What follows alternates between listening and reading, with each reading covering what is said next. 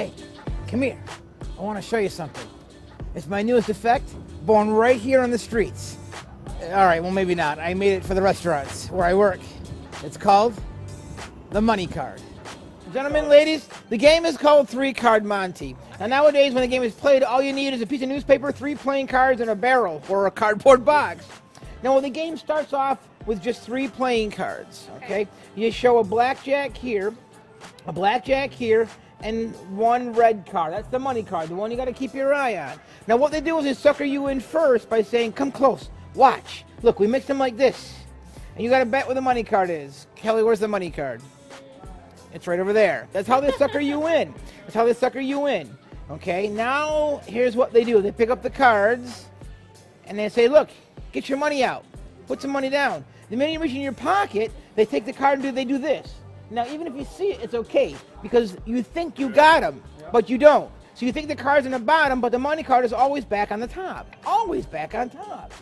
They say, oh, I'm so sorry, as they slowly take your dollar and put it happily into their pocket. So look, I'll make it easier for you. We'll take the money card and put it right over here in the uh, in the newspaper. Okay. So now look, they show a blackjack here and a blackjack here, and it says put your money down. When they do, all they do is give it a snap, and sure enough, the money card always returns. Well, right back here in the wallet, right back here in the wallet is the jack. Says, okay, one minute, no, not anymore, you wouldn't know. All right, one more time, he says, look, look, look. Uh, I'll make it easier for you. I'll go very slowly. Keep your eye on the money card. There she is, on the table. Now watch very carefully. All they do is they sandwich it in between, just like this.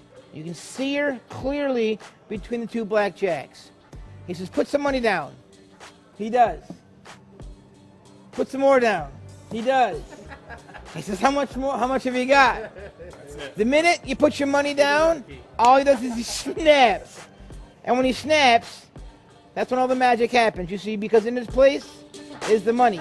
The money card is gone. They walk away with every single last dollar you have. Take a look.